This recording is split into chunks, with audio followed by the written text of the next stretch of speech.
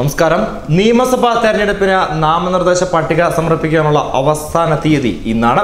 മണ്ഡലത്തിൽ ഇതുവരെ B J P ഒരു സ്ഥാനാർത്ഥിയെ പ്രഖ്യാപിച്ചിട്ടില്ല.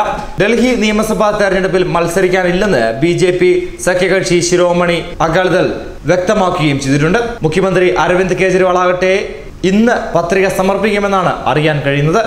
കഴിഞ്ഞ ദിവസം റോഡ് ഷോയ്ക്ക് ശേഷം പത്രിക സമർപ്പിക്കാനായിരുന്നു കേജ്രിവാളിന്റെ തീരുമാനം. എന്നാൽ വൻ ജനപങ്കാളിത്തം മൂലം റോഡ് ഷോ വളരെയധികം മണിക്കൂറുകൾ വൈകി. നിശ്ചിത സമയം കഴിഞ്ഞ് പോയതിനാൽ പത്രിക സമർപ്പിക്കുവാൻ ഇദ്ദേഹത്തിന് ആയില്ല. എ മുൻ ദേശീയ അധ്യക്ഷൻ റോമേഷ് സബർവാളാണ് ന്യൂഡൽഹി മണ്ഡലത്തിൽ കോൺഗ്രസ് സ്ഥാനാർത്ഥിയായി മത്സരിക്കുന്നത്. ഇരുപത്തിനാല് വരെയാണ് പത്രിക പിൻവലിക്കാനുള്ള സമയം. അതേസമയം ഡൽഹി നിയമസഭാ തെരഞ്ഞെടുപ്പിൽ മത്സരിക്കാനില്ലെന്ന് വ്യക്തമാക്കി ബി ജെ പി സഖ്യകക്ഷിയായ ശിരോമണി അകാലിദൾ രംഗത്തെത്തിയത് വലിയ ചർച്ചകൾക്കാണ് വഴിതെളിച്ചിരിക്കുന്നത്. പൗരത്വ നിയമ ഭേദഗതിയിൽ നിലപാട് അംഗീകരിക്കാനാവില്ലെന്ന് വ്യക്തമാക്കി ശിരോമണി അകാലിദൾ ബി ജെ പിയുമായുള്ള സഖ്യം അവസാനിപ്പിച്ചു കഴിഞ്ഞു. ബി ജെ പിയുമായി വർഷങ്ങളായുള്ള തെരഞ്ഞെടുപ്പ് സഖ്യമാണ് ശിരോമണി അകാദൽ അവസാനിപ്പിക്കുന്നത്. മുസ്ലിം അഭയാർത്ഥികൾക്ക് കൂടി പൗരത്വം നൽകണമെന്ന അകാലിദൾ നിലപാട് ബി ജെ പിയെ ഏറെ ചൊടിപ്പിച്ചിരുന്നു.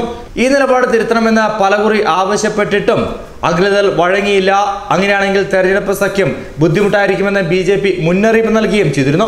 നിലപാടാണ് വലുതെന്ന് വ്യക്തമാക്കി തെരഞ്ഞെടുപ്പിൽ മത്സരിക്കാനില്ലെന്ന് ശിരോമണി അകാലിദൾ അറിയിക്കുകയായിരുന്നു. തെരഞ്ഞെടുപ്പ് ചിഹ്നത്തെ ചൊല്ലിയുള്ള തർക്കവും സഖ്യത്തിൽ വലിയ വിള്ളലുണ്ടാക്കിയെന്ന് തന്നെയാണ് സൂചനകളിൽ നിന്ന് വ്യക്തമാകുന്ന കാര്യം.